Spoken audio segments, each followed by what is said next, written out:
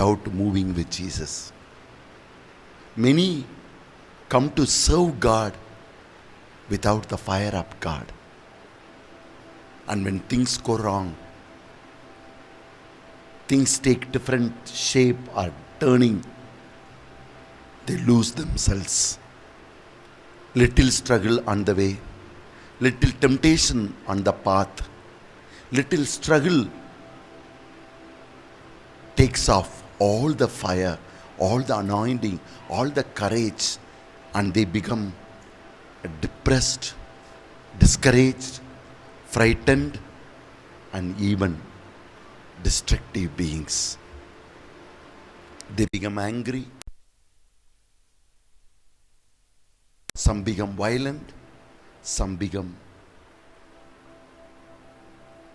lose character. Without the fire and zeal for God, no one can serve God. So, how can this zeal and courage, when David's son Solomon did not have the zeal for God, though he was born in the palace, though he was enjoying the riches which God had given to David, he never tasted God. I remember still when I was ordained, when I went to say hello to my spiritual guide, Father Swaras Prabhu of Pune Jesuit, he's no more. He told me, don't dare to speak about God if you have not spoken to God. Don't dare to speak about God if you have not spoken to God. Daniel, a man who always kept up the zeal for God, could face the trials and tribulations of the world and continue to shine for God. To keep alive the zeal and fire for God is important. While David's son Solomon did not keep the zeal for God, a servant who was in the house of David, who knew the secret of David, whose name is Jehu.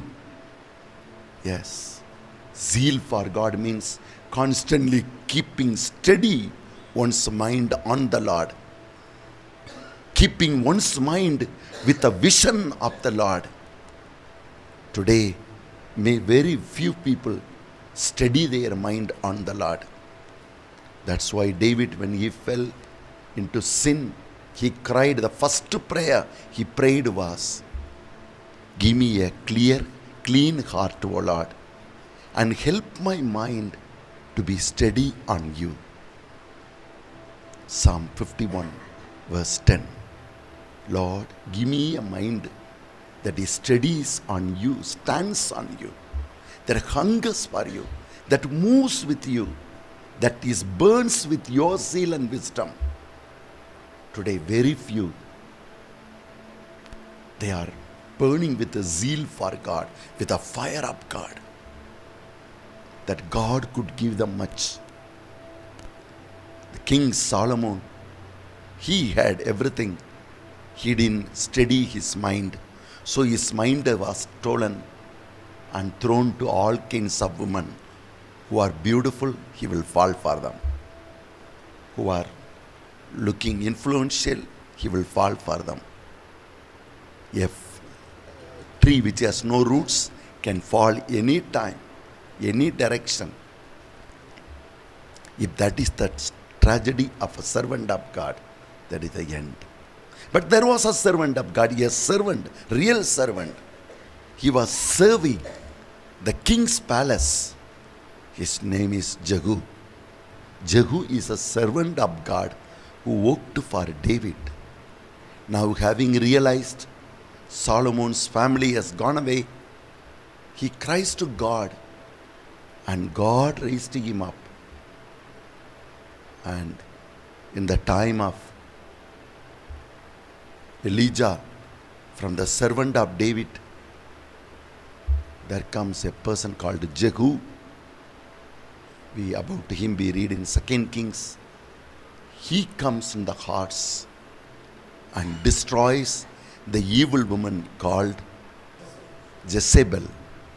So he comes and kills Jezebel. When Satan wants to attack you, what will he do? He will bring a woman, he will bring a man who is attractive to you. That your mind will move from God to a human being. So, Jezebel dressed herself, made makeup, and looks at Jehu smiling. But a man who is studied in the Lord, burning with the zeal for God, tells, Throw away that lady, dirty lady. When they threw her, he, with his horse, went over her, and the chariot went over her. That is the end of her. You don't entertain sin if your mind is steadied on the Lord. Knowledge of God means if my mind is steadied on God, God's power, presence, anointing will be steady in me. Without knowledge, people perish. Means without God, people perish. Without zeal for God, without keeping one's mind steady in God, we will perish. This is the first truth God teaches us. Knowing God, steadying oneself in God, being with the zeal for God. That's why Jehu said, Look at me, how much zeal and fire I have for my God. Who? A servant. And God says, Come on, Jehu, I will bless you and four generations. Your, your four generations will become a king, not only you.